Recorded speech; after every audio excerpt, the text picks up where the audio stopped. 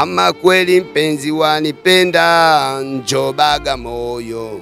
Kama kweli mpenzi wanipenda, mimi njo Bagamoyo. Tolele mbwa amekuja paka mdogo, anacheza naye anacheza naye, mara nikaona ah, paka sitokea lini anacheza na mbwa. Mara ule paka anacheza naye, mara kamkata kichwa, yani kamkata kichwa ule mbwa, afu ule mbwa kile kiwili kinarukaruka hivi kile kile kichwa kile kiwili kichwa kimebaki, kiwili kimeruka, afu kimepenya kwenye upaa wa nyumba, kimetua nyuma ya nyumba. Mimi ikabidi nitoke nduki sasa kukiwahi kule nione hichi vipi kime kwanza kimerukaje. Kufika kule nakuta hamna kichwa, alafu narudi huku nakuta kile kichwa kina bado kinafanya Again again kwenye screen yako ya Maximum TV na kwenye mic za Maximum TV. Hii hapa ni Homeless. Eh, nimekuja kupiga story na wanangu hapa. mm -hmm, na madhumuni kujifunza ya lakini uh, kupata at least kujua vitu ambavyo wanavipitia ni vipi ambavyo viliwakuta mpaka kuwa katika maisha haya ambayo unaona nayo kwa hivi sasa. Kwa hiyo kaa nami kuanzia mwanzo mpaka mwisho. Ya, utapata kujifunza lakini uh, kujua nini ambacho kiliwakumba. Bwana, mambo vipi? eh bwana, poa Kama ka kama kawaida. wewe unaitwa nani? Eh bwana, mimi naitwa Dickson Dickson nani? Dickson Francis. Dickson Francis. Yeah. He, Dickson Francis, wewe ni mwenyeji wa mkoa gani? Eh bwana, mimi ni Chuga Boy Arusha. Yeah, Chuga ndani ndani Eh kabisa. bwana, ndani ile Kilombero ndani, yani kwa ndani Da da umeingia Mimi nimeingia kitambo kidogo mwaka gani? kama 94 Eh, kitambo baba. Utakupata taka chumba ndugu yangu. da mwanangu wengi kama wote Ulisha ulisha chumba ni kachumba au wachumba ah, yani chumba sema kukaa ni sema kukaa kidogo mazingira ambayo nilipitia ni ya kuaso, kwa hiyo sikuweza kupata hiyo opportunity ya kuwa na chumba. Sa- safari ya kutoka Chuga kuja mpaka Dar ilikuwaje? Ah, ilikuwa ni hot cake kidogo, sababu tulipata kustoloi kwenye basi kutoka Arusha mpaka Moshi. Ah, kuja kimageni. Mm. Kwa hiyo tulipofika Moshi tukadrop, baadaye tulikuwa wawili, tukaanza ku, ku, kujidanganya tutakuja kwa mguu. Kwa hiyo tukatembea tukaenda mpaka sehemu moja inaitwa Mwanga. Mwanga pale tukapata hifadhi kwa jamaa wanaofugafuga ufugaji, wakatupa hifadhi. Baadaye tukaenda Mwanga stendi asubuhi yake. Pale tena tukadandia basi. Likatushusha sehemu moja Same. Tukashtukiwa hapo. Hapo Same, tukaenda kituo cha polisi, tukalialia pale shida, wakatuelewa, wakatupandisha kwenye mabasi tuliongopea wazazi wetu. Sisi, wametuacha Arusha ni wafanya biashara, mmoja anakaa Kigamboni, mwingine Manzese. Kwa hiyo ikabidi wakatuombea lifti kwenye mabasi, tukapanda. Kipindi hicho stendi iko hapa Mnazi Mmoja, tukadrop pale yeah. Maisha yakawaji sasa? Ushaingia daa mzee kujitafutia na home home ulitoroka. homu sijatoroka kwa sababu home ni teni, nilitoroka kwa sababu ya mateso Na mateso gani? ya mama wa kambo. Se- Kesi nyingi zinakuwaga za mama wa kambo. Bi mkubwa ilikuwa inakuwaje? Wapi mlikuwa mnakosana? Mi bi mkubwa alidanja, alikufa au sio? Kwa hiyo bi mkubwa alivyokufa, nikajikuta mimi baba ameoa mke mwingine. Kwa hiyo yule mke mimi akawa ananibebesha maji, najaza ile pipa ndoo kumi na mbili, alafu ananichapa, ananiachia watoto, aliolewa yule mama na watoto, ananiachia wale watoto niwakorogee uji nini, na mimi ni mtoto. Kwa hiyo nikajikuta siwezi ile kazi, akija nakuta watoto wana njaa, kwa hiyo nakuwa ananibadilikia mimi, ananipiga. Baba naye akija amelewa, nikimwambia naye ananipiga. Nikaona hapa si sio kwangu, nikaenda kwa babu babu kazi zake ni kuchunga ng'ombe. Mi nikaona sipendezeshi na ile kuchunga ng'ombe, kabidi nikasepa. Nika, kulikuwa kuna makundi yanatokaga mnadani yanaenda kuuza, yani wanatoka kununua ng'ombe mnadani, wanawaleta Kijenge kuwauza, kuwaswaga wale ng'ombe kwa mita fulani unapewa kama shilingi kumi au ishirini. Kwa hiyo nikaa nawaswaga wale ile shilingi kumi ishirini mpaka kajikuta mimi na kama mia mbili. Sasa ile mia mbili nishafika wapi?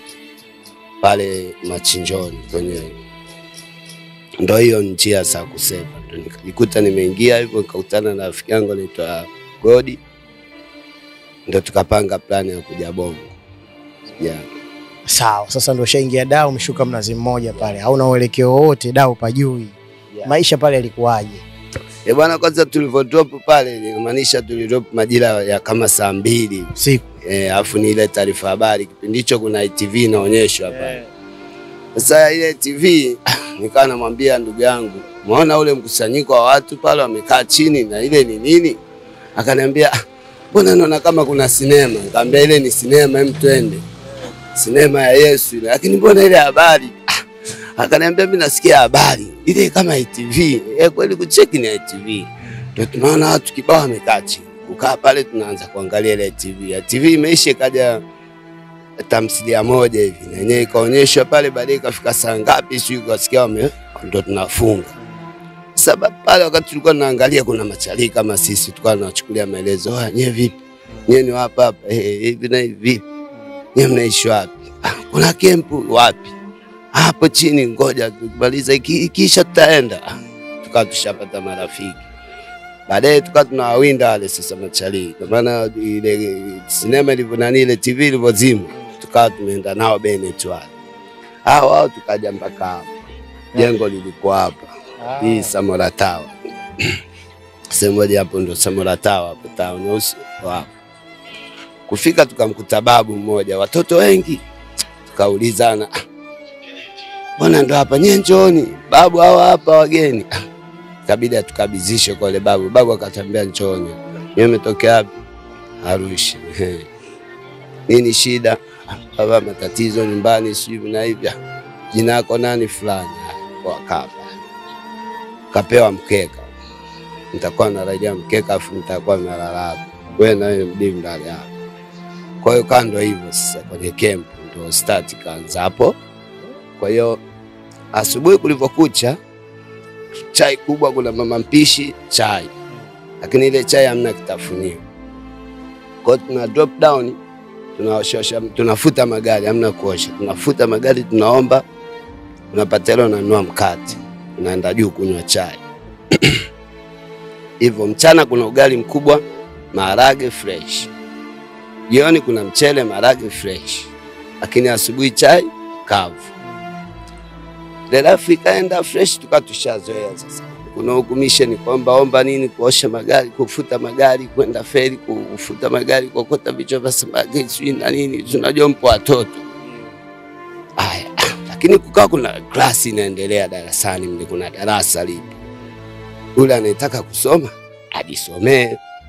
Kwa hiyo kaa tunakamatwa kweli, mkae darasani kipindi fulani, afu baadaye muende. Basi mimi nikapenda ku stadi kidogo, kaa nao sikiliza. Kwa hiyo baadaye nikaona wewe kama unaweza fresh ukapelekwa shule. Kwa hiyo tuna makundi ambayo yanaonekana na score good yanapelekwa shule. Kwa hiyo wale walikuwa wanapelekwa shule, mmoja hapo mimi, tukapelekwa shule, mimi nikapelekwa huru mchanganyiko Kwa hatari mzee. Hasa Akili sana, ni jasi tu ujanja ujanja, au si? mi huru mchanganyiko, wenzangu Kigogo, wengine Mbulati, wengine Kawawa, wengine wapi, wengine Lutinda, wengine shule zote za mjini, wengine hadi Mnazi Mmoja hapa hapa, wengine Kisutu, wengine yani hizi shule zote tulijaa sisi. Wengine sasa hivi ninavyoongea ni mawaziri, mapo- eti mawaziri, ma advocate. Wewe unaenda shule gani? Mimi ndienda nani uhuru mchanganyiko hii hapa Tanzania Brothers, lakini baadaye nikahamia Kigogo CCM. Basi ndo ikawa ndo hivyo, ikawa tumesoma pale, lakini baadaye ikatokea safari ya kwenda Japan. Sasa wakawa nachagua, kulikuwa kuna mkutano ulifanyika Tokyo Japan. Kwa ule mkutano ulifanyika kwa ajili ya watu wakubwa. Sasa wale watu wakubwa wakasema watoto pia wana mawazo yao, tunawaomba watoto na wenyewe watoe mawazo yao. Kwa hiyo katika yale mataifa waliofanya ule mkutano, wale watoto walihitajika pia waje kulingana na yale mataifa wale wawakilishi waliofanya pale ule mkutano. Kwa hiyo sisi kwetu alikuwepo marehemu Sister Jim ambao ni mzungu ambao ndo alikuwa ndo mwasisi ya Dogodogo Center, mdhamini mkuu. Mimi alinipenda kwanza, nilikuwa ni active, akileta kadi zake nimchoree na chora. Pia nilikuwa naweza kuchora kadi za aina ya maua hizo. Pili, naongea Kiingereza, namsikiliza afu namjibu. Basi Unaona unaweza kuongea. of course a little bit Hata tukichange lugha hapa fresh. it's okay, au sio bwana? Basi kwa Kwa hiyo walivyorudi sasa kutoka huko Tokyo kwenye mkutano wao, kaja akas- akasemaje kwenye uongozi, jamani, kuna kuna opportunity ya watoto kutoka hapa kwenda Tokyo Japani, wanatakiwa wachaguliwe wale ambao clever kidogo wanaweza wakaspeak nini English, ili wakifika kule waweze kupata msaada pale anapokuwa na tatizo. Ikapitishwa interview kwenye klasi ile ile tunaosoma. Interview iliyopitishwa ni vitabu vinaletwa, unasoma na ukisoma uelewe ni maana yake ni nini, na kama uelewi, ila ukiweza kusoma inaelekea wewe ni unajua.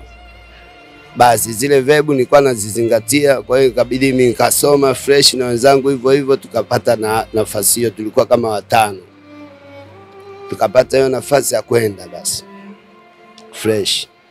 Kwa hiyo tulipata hiyo nafasi ya kwenda, tulipata kwanza kama seminar jinsi gani ukienda kule, tukaenda mpaka ubalozi wao pale, wakatuelekeza ukaenda kule, kuna moja mbili tatu magorofa sio yananesa hivi kulingana na tetemeko la ardhi, msiogope, wana teknolojia kubwa wale jamaa, hivi na hivi, ukarimu wao ni hivi, arigato eh, yani ile sante arigato, usiname sana, mtagongana, mnapeana distance. Nikawa nimeelewa vitu vingi kupitia kabla sijaenda, lakini nikasema ngoja nikifika nikaone ni kweli kweli Mungu si asmani. Tukabidi tukaanza safari yetu, tukachukua Boeing ya Tanzania hapa, tukaenda mpaka South. Siku ya kwanza mzee unakwea pipa. Sio siku ya kwanza, siku ya kwanza tisini na saba nilikoya pia opportunity ya mama ana Mkapa, tulienda kuangalia mlima Kilimanjaro Hapo hapo dogo dogo sana. hapo hapo kakwea pipa. kakwea pipa. Kwa hiyo tulipoenda kuangalia, hiyo ilikuwa ni kwa kila mtu, sio useme hiyo ilikuwa ni kwa ajili ya interview wala ni kusanya yote hadi yule asiyeona ni, lakini mnachukuliwa kama sita sita kumi kumi vile kila Ya- kumi. Ya pili ndio hii. Ya pili ndio hiyo Kwa hiyo mwanangu una gamba gamba bwana, wamelizia jamaa anasema sio international, sio nani, sio original, ilikuwa ni temporary. Eh? Sasa akasema tuwezi tukakupa temporary passport, ingekuwa ni original nini, si tungekupa ile, ilikuwa tu kwa ajili ya nani yenu. Kabidi nipotezee. Okay. Kwa hiyo bwana, tukafika South Johannesburg saa tatu usiku, baridi kali, si hatukujua kama pale baridi. Tumeshuka na vitishati vyetu hivi, eh, tunakuta hali ya hewa sio. Wale wa jamaa wanatushangaa, nyie raia mmetoka wapi? Hamjui hali ya hewa ya huku? Fasa ikaja basi, tukaambiwa ingieni au nduki kwenye hoteli. Hoteli tulipofika asubuhi tu ile saa nne tunaambiwa sasa twendeni airport tena, ndo tunapanda ndege masaa ishirini na nne ndo sijawahi kupanda kukaa kwenye ndege masaa ishirini na nne yaani saa nne mpaka kesho saa nne. You know? Yani niliumia miguu kwa sababu si unajua public cities zi ukilala unamwangushia mwenzie msosi kama anakula hivi, si unajua zilivyopangwa. Yeah. meza siti. Na wewe hivyo hivyo, kwa labda huyo awe hali au naye kalala na wewe ulale, It's okay. Sasa kwenye ndege hamwezi kulala wote, kwa lazima ukae. So nili enjoy but nili get pain hiyo bit.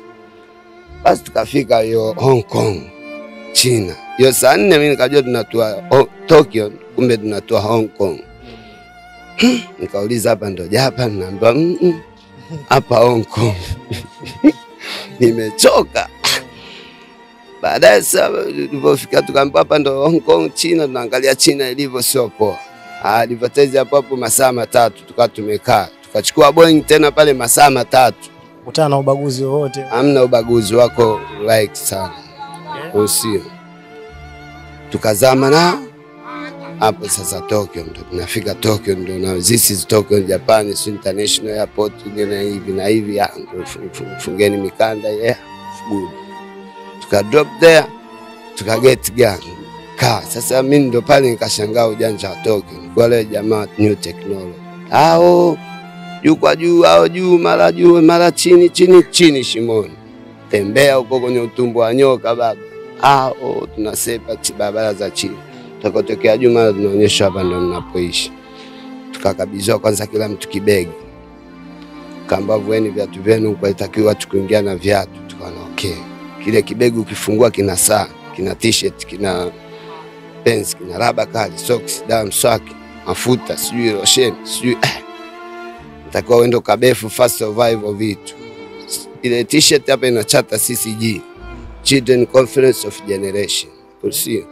Kumbe ile chata ina kama kama nini chipu fulani, yaani ile chata ambayo iko hapa ile CCG ina kama chipu fulani na maana Track, eh, ambayo yani ina, ina, mnaonekana kama uta, utaenda nje ya wenzako, yaani na maana mnaonekana kama mbuzi mpo kwenye banda, Wanawasoma. hamna anayetoka. Sasa unajua bongo janja mwingi, nikaji nikataka kwa kuwasepa wale jamaa. Lakini siku hiyo hiyo siku hiyo kwanza tukachenji vile vitu, ikabidi tukaonyesha sehemu za kulala, sehemu yako hii, kabati lako hili fresh. Haya, twendeni sehemu ya dina, ndo hapa. Eh, hiyo buffet sio poa, sababu simpo wengi. Ah, lakini mmegawiwa makundi makundi ya nye Tanzania mmejimix na Waamerika wa Mexico, si wa Finland wa nani? Au wengine wako na Wahindi huko wa nani, wengine wako na Wachina huko. Ah, yani ni, ni mchanganyikeni. Basi Mkutano asubuhi saa nne, mnakuwa msha kunywa chai, mmeenjoy, mnaenda kwenye mkutano. Kila mtu na notebook yake, mna note, mnapewa viredio ambavyo mna, una twin lugha ambayo unasikia. una. Ina maana kama umetoka Sweden una chini ki Sweden, ina China, Sweden, Finland, yani kasoro Tanzania, ila ina English. Sisi tukaamba tu twin English, kwa hiyo tuka twin English. Kwa sababu English si unajua kidogo. Ndio ikawa mkutano tunausikiliza kwa njia hiyo. Wengine walijua vile vile viredio tumepewa ili tuje navyo bongo vya kusikiliza, kumi kaambia wanangu, hivi sivina maana yake, msiweze kuleta disaster. Leo tunaona kila mtu anavaa, mkutano ulivyoanza ndio wenzangu kaambia, ah, bwana hivi kumbe maana yake hii. Tukaambia twin English, tukatwin. Tumeendesha ile mkutano blaza kama wiki tumeget point na tumechangia point, yani tulipata vitu na sisi tukachangia mawazo yetu kweli. Wewe unataka kutuchangia kitu gani? Ah, mimi nilichangia kulingana na ni long time kidogo, siwezi kukumbuka vizuri, ila nilichangia kweli na tu, kila mtu aliotesha mti wake wa kumbukumbu hapo Hiroshima, sababu mkutano ulifanyikia Hiroshima hapa, tukaenda mpaka Toshiba Yokohama, au sio? Vya, vya nini TV. angalia yani mazingira tu, sababu zile sehemu ni unapita juu ya daraja, si visiwa yani unatembea juu kwa juu, barabara zao sio yani hivyo ni visiwa. Kwa hiyo yani unakuta unaona imagination kwenye picha ile, ukienda ni kweli yeah. Kwa hiyo tukaenjoy, mwisho wa siku ikabidi tukapelekwa kwenye sehemu za kuenjoy, kwa sababu ule mkutano ulikuwa tushamaliza. Kwa tukapelekwa kwa Plaza Hotel, ni hoteli kubwa kama hii Kilimanjaro hapa ndio ile tukaenjoy sana usiku mzima, tukalala pale. Sisi tulichukua gorofa hamsini na sita ilikuwa na sabini inaishi kama float. Kwa hiyo mle ndo tuenjoy lot, afu baadaye tukaja tukatembezwa ile town nzima ya Japani, muione ilivyo eh, maarifa yao. Baadaye tukaja tukapigiwa pati kubwa na kaa mkubwa sana ambao sikuwahi kumwona kwenye maisha yangu, ndo ikawa ndo keki Ah, Mungu mkubwa, imagination ilikuwa tukaenjoy. Baadaye kila mtu anapewa kibunda yake.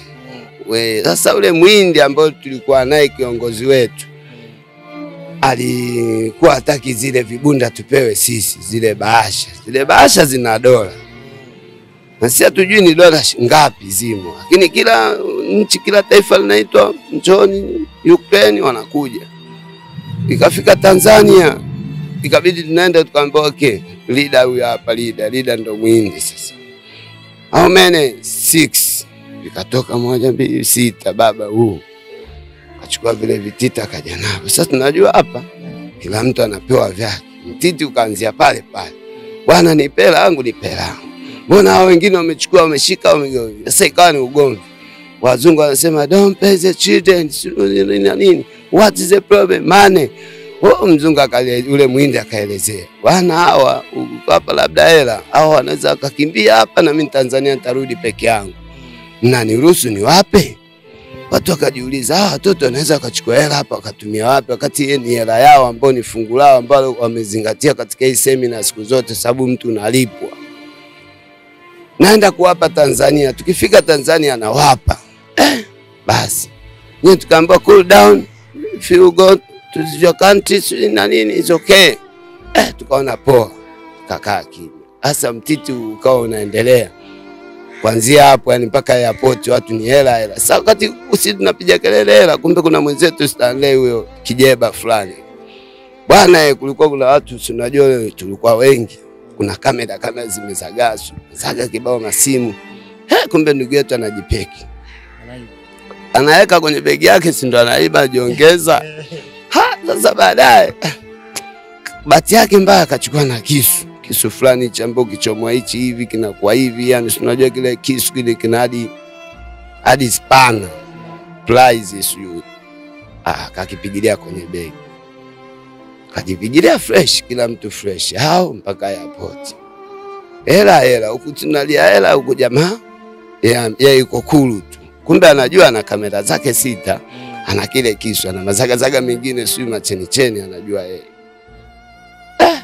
Sasa tukaambiwa wote tumeshanani pale gate pa, begi linapita huko unapita huko na kaguli au si wote tumeenda kabege. hili begi la nani? Tukaitwa kwanza na wale wa chini, mwenye hili begi nani? Limestop kwa sababu kila mtu amechukua begi lake kwenye ule mzunguko. Wale jamaa wakasema waache, kila mtu atachukua begi lake pale. Sasa yule mmoja akabaki ana begi, lakini wakatuuliza la nani hili? Ah, Stanley, ndio una begi, begi lako hilo eh, kuja kucheki ngoja tuangalie, mbona begi lake limebaki? Ndo likagunguliwa sasa pale, zipo. Kinamwagwa kimoja baada ya kimoja, nguo zinatolewa, nguo nguo nguo, kiatu nguo, eh, kamera kamera kamera. Ah, pale pale ndo tukashtuka, we, kumbe mwizi. Tunaanza sasa, mwizi mwizi, wale waelewi mwizi ni nini, si unajua, kumbe wenyewe wana shida na zile kamera, kuna kitu anakitaka wanatoa mara kuja kutoa kufanya hivi, ah, umekipata kile kisu kubaba, akasema zisi, kakeka pembeni, vile vitu vikarudishwa na kamera zake. Sasa watu tukabaki, tunabaki tena tunaona awe wewe bongo, hatuwezi kuelewana hivi vitu, tunabidi tukiane mtiti. Ukaanza pale pale, mwindi akasema "Oh, nyie tulieni wewe vina hivi, mawazo akatoka kwenye hela akahamia kwenye zile kamera na kile kisu. Huyu mtu vipi? Kwanza anabidi abaki watu wakamtetea wao, basi akamwambia nyinyi mnaenda hadi wapi? South Africa, exporteni hichi kisu, mtakikuta South.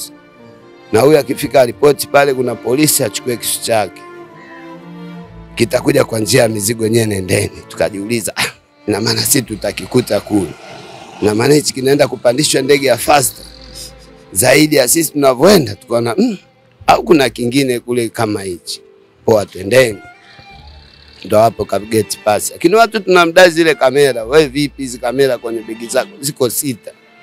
Na si tuko sita, basi kila mtu yake. Kweli kila mtu akachukua yake, ndo ikawa sana, si tumerizika kidogo pale, lakini tulienda sehemu moja, mji mmoja Osaka. Kabla ya kuondoka, mi kuna bibi alinipa saa, ile saa kumbe ni silver. Na kalamu hivi, nami nikawa na kamera na hiyo saa tumekuja sasa ndo tumepanda ndege. Ao tukakutana na South Africa wacheza mpira ao sijui walienda kucheza wapi. Bafana Bafana wale.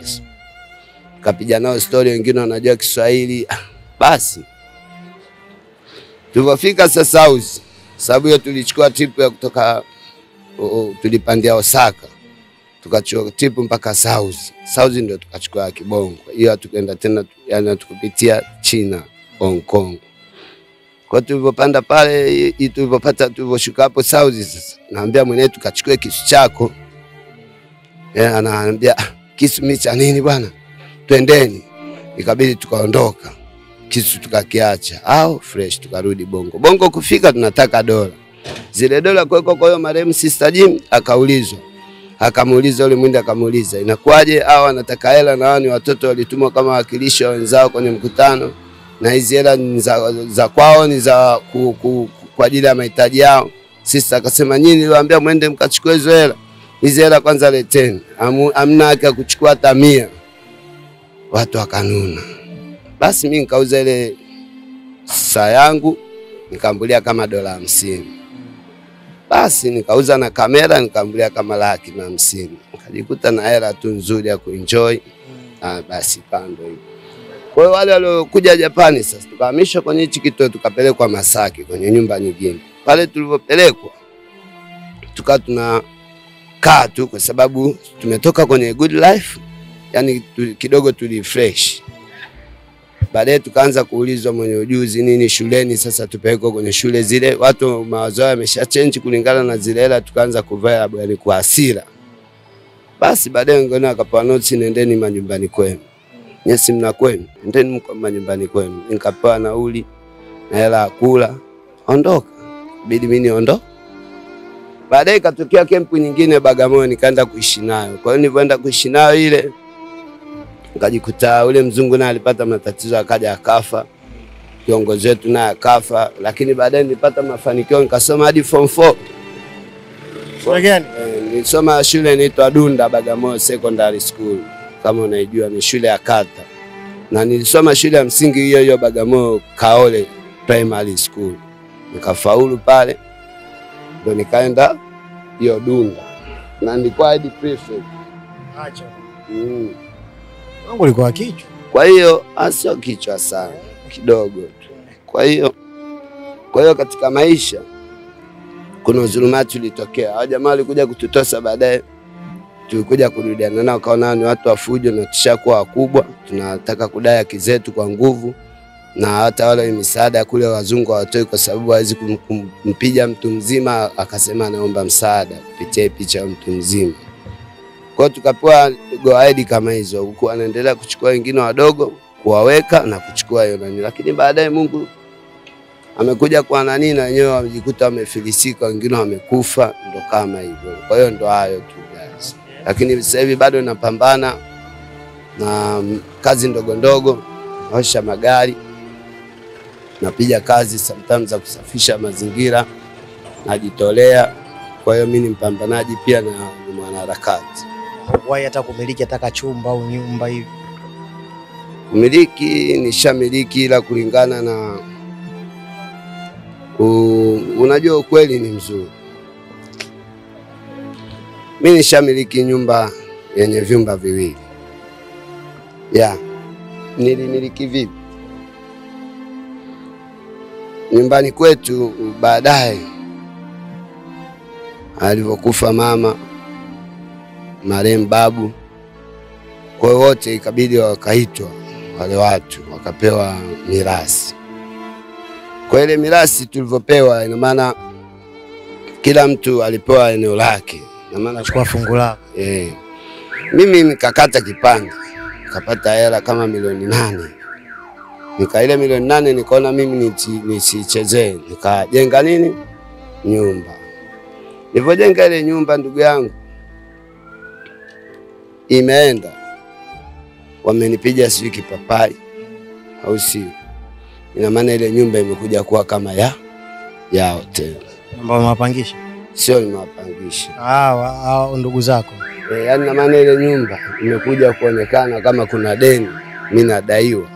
Kwa ile nyumba imekuja ni tuseme kama kunidhulumu fulani kwa njia ya kimagic, uchawi na kunifukuza niende mbali Okay, kwa umefukuzwa kwa njia ya ya kishirikina. kishirikina, na hiyo ishu mimi naiona, ndio maana ninavyokuambia siwezi nikakuongopea, sina nikamkufuru Mungu.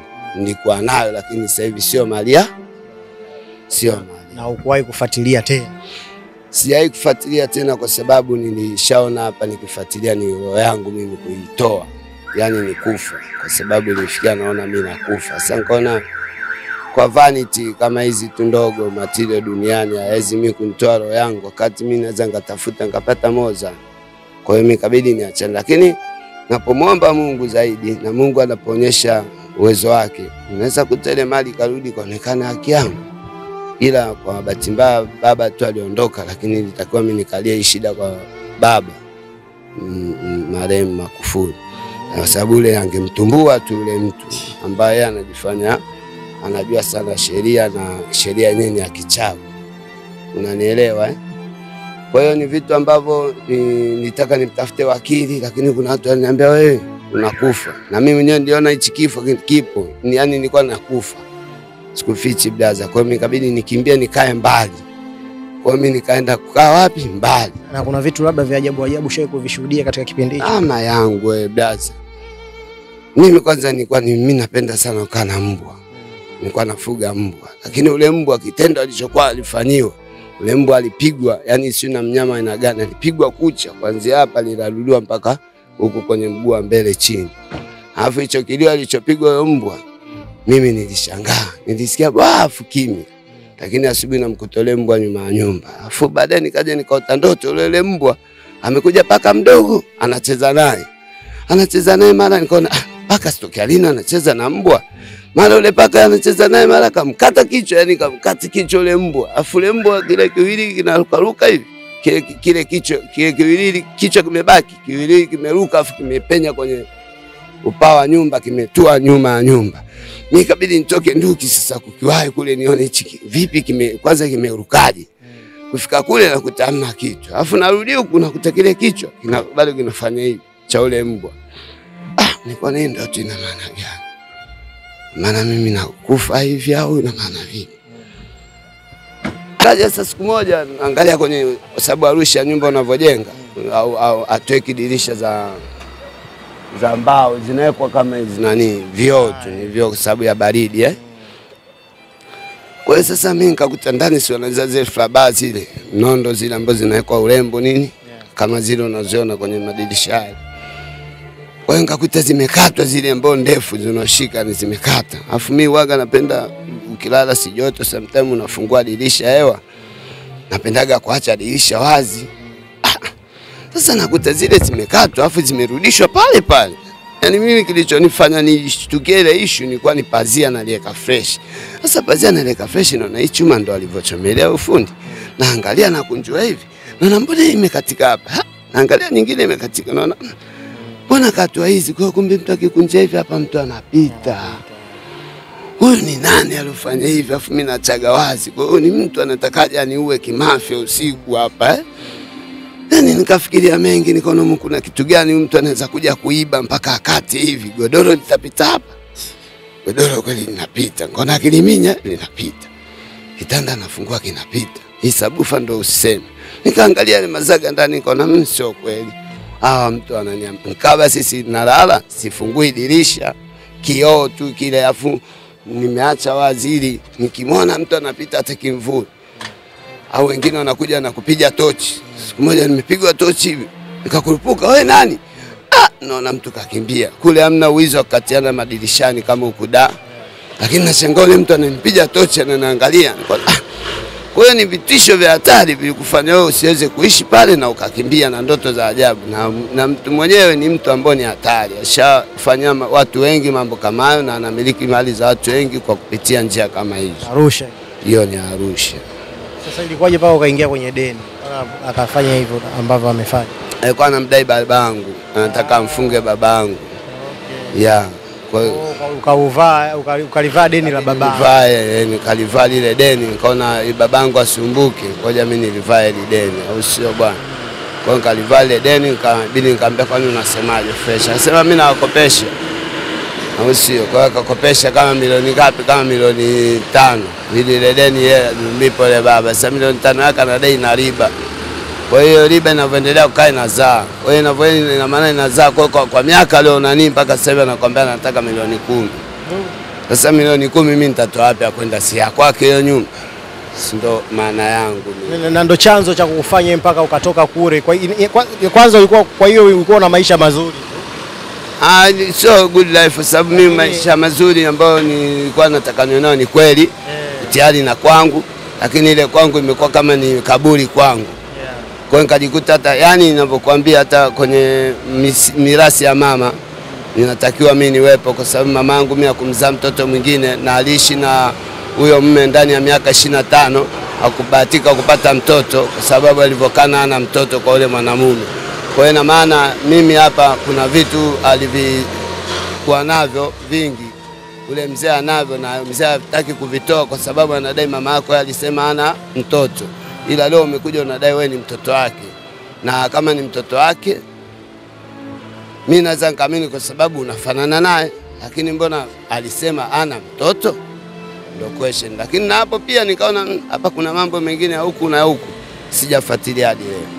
Ukaamua tu uje kuishi maisha yako ya kulala nje. niishe maisha yangu ya kulala nje. Najua nikipata nikikosa fresh, na namwomba Mungu iko siku anaweza kanibariki katika moja na mbili. Ta- Tangu hapo tangu utoke uvoona mauzauza utoke kule Arusha uvokuja huku da ukuwahi tena kurudi Arusha Sijai kurudi, na hujawahi kuwasiliana na yoyote?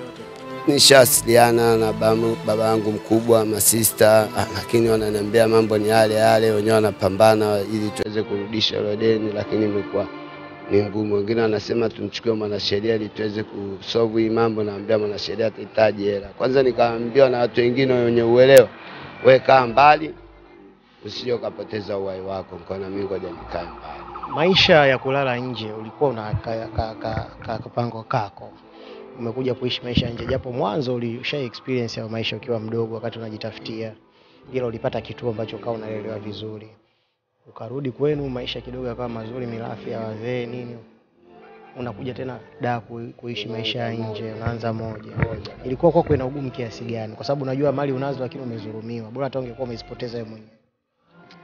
Kwa mwanzo sikuweza kweli, kuna nini, nilijikuta ni mtu akulewa pombe ili nisikumbuke chochote. Nilikuwa ni mtu wa kupaniki na hasira, nilikuwa ni mtu ambao yani ni- nilikonda, lakini ni- nilivyokumbuka rafiki zangu na wale ambao nilikuwa nao katika chuo cha sanaa Bagamoyo, kulikuwa kuna ucheshi mwingi katika kwenye kuplay drums, muziki nini, nikaona kule vibe zangu zinaweza zikaenda zikawa kidogo down hizi hasira hizi nini kufikiria kweli. Nilivyoenda kule nikakutana na rafiki wangu wale wa zamani, na kanikumbusha unaendelea na sanaa, nikamwambia ndio hivi na hivi. Ah, nikakumbukia kipindi hicho niko Dogodogo dogo center, nilikuwa napiga gitaa na kule na, kuna magitaa wanangu akanikuta Na unalipiga fresh. eh, alipiga sio fresh tu, ni just tu Chombo gani ambacho nakipiga vizuri?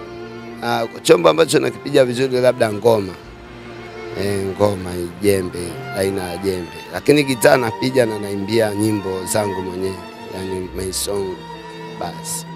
Siwezi nikapiga copy song au nikapigia mtu, ila kwa zangu ziko ambazo nimepiga na gitaa na zingine zimeshakuwa famous, wameuza Ulaya huko, lakini sijapata mafanikio kupitia huko huko Bagamoyo. Kwa hiyo ndo hivyo. Ushaikuza hadi nyimbo Ulaya. Eh, nyimbo moja inaitwa Njoo Bagamoyo Kibagamoyo, unaweza kuipata hata ukisearch. Hebu imba kidogo. Ah, sina vibe. Eh, naweza nikakupa kidogo. Kama kweli mpenzi wanipenda, njo Bagamoyo. Kama kweli mpenzi wanipenda, mimi njo Bagamoyo. Kama kweli mpenzi wangu wanipenda, mimi wa Bagamoyo. Kama kweli mpenzi wangu wanipenda, njo Bagamoyo. Kama kweli mami wanipenda, njo Bagamoyo. Kama kweli mpenzi wanipenda, njo Bagamoyo. Kama kweli bebi wangu wanipenda, njo Bagamoyo. Nakupenda ulivyobonge na unavokata matonge, wajinga kizingua lazima pate za chembe. Njo Bagamoyo ili bebi maisha yende, sio kila siku nache mimi nikonde, sipendi unavoka like eh, au sio bwana? Ina maadili fulani kweli ya Kiafrika, Afrika Afrika Yeah, kabisa. Kwa hiyo Vitalis Maembe ulimkuta kule Bagamoyo. tuko naye Kwa hiyo mnajuana vizuri. sana, jiko mani kocha Na yeye ndo ulimwacha kule Bagamoyo. yupo na juzi alipanda boti hapa ameenda Zanzibar. Ah, kwa hiyo ni mwanao kabisa ile. Ndio ana bendi yake Spirit Band nini fresh. Sasa kwa nini akunini kidogo akuingize? Kwa sauti za busara mwe mnaruka wote nini? Najua bro, hizi stress za kufikiria mali na kufanya nini na kufanya wewe ukashindwa kufanya mambo yako mengi, yani mpaka hata mtu mwingine anaweza kuona wewe nini, mbona unajua Kiingereza, mbona wazungu wanakupita tu, mbona uko hivi, mbona umesoma unajua hivi, mbona yani, ah, lakini wewe unaona maisha mimi kweli. Sasa unajikuta umekwama wapi? Unaona ah, mimi ngoja nizingatie ibada, baadaye Mungu anaweza akafungua milango yake, nikajikuta mimi ni mtu mwingine kama nilivyokuwa, kwa sababu wenzangu kama niliokuwa naye niliosoma naye ambao nilikuwa naye nimesafiri naye mwanangu Frenki nani Japan, sasa hivi kwa Sweden mwaka kama kumi na saba hivi yeah. wenzako wengi wametusua tu, wenzangu kibao wametusha kinajiza Dickson why. Kwa hiyo kuna vitu vinakuwa viko vinazuia kwenye ubongo, kuna vitu vinakuwa na kuzunguliwa kwenye makempu kama haya. Nishaekti move nyingi, nishafanya kazi nyingi, lakini baadaye amekuwa na mkubwa gera. Kwa hiyo vitu kama hivyo vinakukosti ndio. Kuna kitu chochote ambacho nakijutia mpaka sasa katika maisha yako? E, mi naweza nikajutia kama hiyo nyumba, najutia kwenye maisha yangu kwa sababu nakuta nimeingia zamana ambayo imekosti mimi mpaka sasa hivi namlaumu huyo baba kimoyomoyo, lakini nasema ni baba ni baba, ndio inanikosti hiyo kitu, nafikiria kila saa kwenye maisha yangu, ndo hivyo tu, mona. Kwa hiyo ndo hivyo, ndo hicho kitu ambacho ngifikiria na kila saa kinanijia kwenye moyo. Na kama kinanichanganya hivi, kwa sababu nakuta maisha ya kulala nje na ile tabu unaipata polisi, mara huku baridi usiku, mvua na mauku, mara unaishi kwa mashaka, unakamatwa na site sijui nini, unalipa faini, kile unachojimeki unakitoa. Yani na maana wewe maisha yako ni kutafuta, unatafutia watu. Ndio maana ukamatwa lazima uwe na kama elfu kumi na tano ishirini, kuna faini inatokea elfu kumi kumi, una umeenda miezi miwili mitatu ukirudi unaanza moja tena, lakini unakuta kama unayo ndio inakuwa unahamisha huku unahamisha huku. Sasa maisha yale mimi yananikosti. Nikikumbuka nilikuwa nalala kwangu, nishajua nimetoka kulala nje, najikuta narudi tena nje. Kwa naona kuna kama mchawi fulani alitaka mimi maisha yangu yawe ni nje tu, umeona blaza. Kwa ndio inaonipeni mimi pia kwenye maisha, fikiria hivyo naona da, lakini ngoja nimwamini Mungu, najua yeye anaweza akarekebisha kila kitu. I hope kupitia ambavyo maelezo yako umeyatoa na vipaji vyako ambavyo navyo inaweza ikawa ni safari moja, safari moja huanzisha nyingine wanasema. So uh, kila kitu kinahitaji utayari. Kama mwenyewe ushakubaliana na hali halisi na kipaji unacho mzee, Diki, ni muda sasa wa kuamka na kusema kila kitu naacha, uh, acha nikaanzishe, yani kukubaliana na hali halisi na kuanzisha safari nyingine. Umeona bwana, mimi naona kabisa kwamba suni tu unaenda kuanza safari nyingine, kwa sababu watu wakiona naweza kaja kutafuta bwana, yuko Samora hapa hapa, panaitwaje? Hapa panaitwa um, bridge Bridge. mm. Ni jengo gani? Hili ni Samora Tower. Samora Tower. Samora kwa pili, Yeah. lakini hapa ni bridge. Okay. Bwana mwanangu ana vipaji vingi, lakini still ndoto zake hazijakatika. Ni mambo tu ya maisha ambayo amemchanganya, alikuwa na kwake kama hivyo kakuelezea, akapita sehemu nyingi, na ni moja kwa story yake, japo hataki, lakini mi najua ni kati ya watu ambao alikuwa clever sana darasani, na ni mtu ambaye sasa hivi angekuwa na maisha yake hata ofisini, lakini ndio hivyo tu, harakati za maisha na binadamu kama hivyo. Kuna binadamu lakini kuna watu, umeona bwana eh, ambao hawana utu ya ni historia yake ambayo Dickson umeisikiliza, na tunaendelea tena kupiga story. Diki, ugumu wa maisha na stress ambazo zilikuwa zinakuchanganya, umeniambia pombe unatumia, si ndio? Yeah, ndio natumia sikatai, lakini kwa sasa hivi nimestop. Umestop. Yeah, nimestop. Haujawahi kuingia katika vishawishi vyote, kuvuta bangi, madawa? Ah, Bwana, siwezi nikakuongopea. Bangi nishavuta, hayo madawa nishavuta, lakini nimekuja kuona hayana faida kwangu zaidi ya kupoteza bongo, wangu sifanye kazi vizuri, nikajikuta mimi ni mtu wa kudumaa tu, mambo yanaenda, mi nimesizi, nikaamua niachane nayo. Kwa hiyo niko na busti pombe na navuta na sigara yeah. Umeniambia sasa hivi umekuwa mtu wa ibada, waga unaendaga kanisani. Ni kweli naenda kanisani kila Jumapili, Mungu akinijalia nakuwa nahudhuria ibada, sababu ibada bwana ni sheria uzingatiwe. Chochote cha kumalizia, nahitaji kuongea Watanzania wasikie. Ah, kwa Tanzania mi naomba kuongea tu ili wasikie kwamba watu wasiwe na roho mbaya na roho za ubinafsi kwa kuona huyu ana mali hii, ngoja tumfanye hivi, tumzungue hivi, kwa sababu pale unapompigia jicho mwenzie anaenda chini, wewe ili uinuke, unakuta wewe uinuki, umpo vile vile. Na siku zote ukimwombea mwenyewe mwenzie mabaya, pia anaweza akakutea mabaya, au sio? Kwa hiyo mimi sikumwombea mtu mabaya, lakini wako wananiombea mabaya na Mungu awabariki, lakini mimi nawasihi tu kwamba Tanzania tuishi kwa amani kama Nyerere alivyosema, hii ni nchi ya amani. Ushawahi kupata mtoto wa kuoa? E, mi na mtoto lakini sijaoa, na mtoto yuko yuko Mandela hapo njia ya kwenda nani Miono. Kuna mamake. E, yuko na mama yake na bibi yake ya, lakini nilikuwa na foni nimesha lost it, lakini mawasiliano yapo na naendaga siku moja moja. Mwanaye Vitalis Maembe, unaweza kuimba nyimbo ya rafiki yako? Eh, naweza nikaimba, naweza kuimba Eh, kidogo. Eh bwana, sumu ya teja, sumu ya teja, Segerea. yesumu yateja ukongake kusegerea yesumu yateja sumu yateja segerea ah. sumu tija, afando sinikamate ntakupa buksi ntano ah, ah. we afando sinipeleke ntakupa buksi nsaba afande kagoma afande kagoma ah, iya hapa kulala bule maji bule bule kurutu bule wakati, wakati anatunga nyimbo ulikuwepo?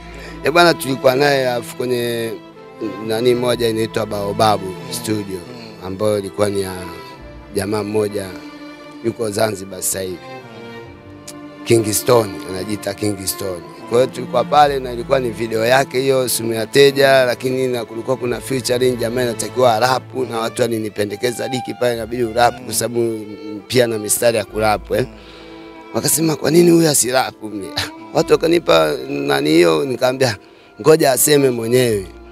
Basi yeye mwenyewe akasema Diki, subiri, ikabidi ile subiri, lakini baadaye nikaja kwa ile video bwana alivyoichukua yeye. Si unajua maazi ya mtu anavyotaka video yake iende, nikamkubali, lakini mimi sikupata opportunity ya opportunity ya kufanya naye kazi mshikaji, ila ni mtu wangu wa karibu sana na tuko naye Bennett nikiwaga Bagamoyo yeah. Yes, kama mjui ah, bwana Vitalis Maembe anajulikana. Kama mjui nyimbo yake ndio hiyo ambayo mwanangu ameimba Pasumu ya Teja, na ana ngoma nyingi sana ambazo kwenye Sauti ya Busara matamasha huwa anashiriki sana. Ni moja kati ya wasanii wakubwa sana nchini Tanzania ambao anaimba nyimbo ya maadhi ya Kitanzania lakini ya Kiafrika pia. I hope utakuwa umejifunza sana kupitia Dickson. I hope utakuwa umeenjoy sana historia ya Dickson. I hope utakuwa umepata kujua kwamba sio kila ambaye analala nje huwa amependa. Kuna maisha ambayo kuna vitu ambavyo vinawakumba mpaka inapelekea mtu kuwa katika hali hii. Ni mtu ambaye alikuwa na kwake, ni mtu ambaye katembea nchi kama huko South Africa, katembea Japan. Ni mtu ambaye anaijua eh, kwa uchache dunia tofauti na yeye ambaye umekaa hapo labda kwako, umeona umeishia tu kwenda labda hapo Tandika kwenda wapi, mwenzako katembea nchi nyingi, lakini maisha tu yamechange kapelekea kuwa kama hivi alivyo. Hii hapa ilikuwa ni Homeless kupitia Maximum TV. Mimi naitwa Skyla Mlaki, behind the camera yuko Tembo Boss. Ehe, nikuwa na mwanangu Dickson. Yeah, until next time, bye.